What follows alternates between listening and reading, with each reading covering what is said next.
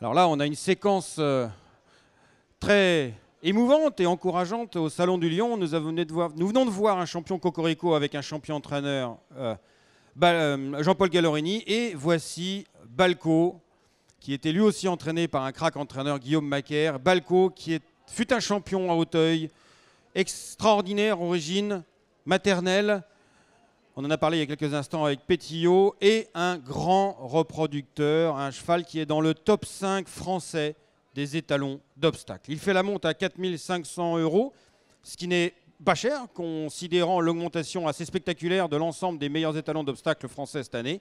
Et il fait la monte au Haras du Lion. Alors que dire sur Balco? Il y a beaucoup, beaucoup, beaucoup de choses à dire. Il est liste pleine, évidemment.